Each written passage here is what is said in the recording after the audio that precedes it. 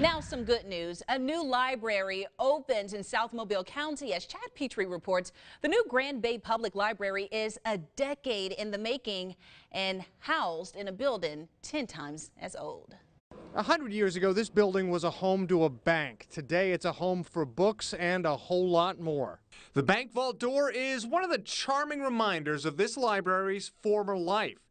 The Grand Bay Library and Agricultural History Museum has a turn of the 20th century charm, highlighting the communities surrounding farm heritage and has anything you'd come to expect in a modern media hub. Make sure that there is no, no one left behind. It's just like school, no one left behind. Whatever there is a need, then the library is here to provide it. We do have assistance for our library associates, for children, for adults.